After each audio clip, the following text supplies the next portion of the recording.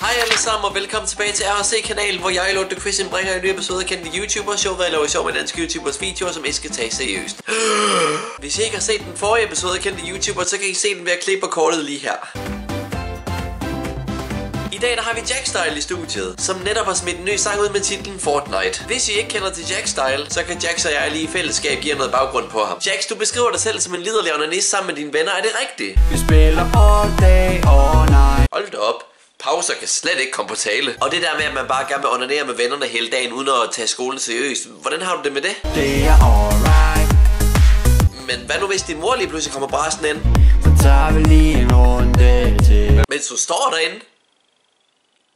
Okay. Prøv lige at overveje det chok, moren får, når hun kommer ind og bare ser Jax i fuld gang. Men øh, nu har I et rigtig godt billede af Jax. Lad os tage et kig på hans musikvideo. Når man laver en sang om Fortnite, så er det jo selvfølgelig rigtig, rigtig vigtigt, at man vælger et isoleret sted, så der selvfølgelig ikke er nogen, der opdager det pinlige shit, du er i gang med. Men Jax er dog ikke helt alene derude. Han har jo crew med sig. Ham i Jax's crew, der har det vildeste arbejde, det må helt klart være ham her. Der skal sende et sølle fyrværkeri afsted. Han har sikkert prøvet at få det bedste ud af dagen alligevel. Han har sikkert bare stået der. Fuck yeah, man, det her det er mit øjeblik. En anden person, Jax har til at hjælpe sig, er en mand, der skulle redigere denne ene ting i videoen. Denne ene fucking ting. Alle de år på medieskolen har virkelig betalt sig. Men prøv lige at overveje, hvor nemt det egentlig må være for Jax at skrue piger med det job, han har. Altså, når pigen kommer hen til ham ved baren og spørger, hvad han laver, så kan han jo bare svare, jamen, øh, jeg kan få to mænd til at danse den samme dans. Men i virkeligheden så er Jax slet ikke så brandvarm, som jeg får ham til at lyde. Altså, for fanden, han render jo stadig rundt med en vinterjakke.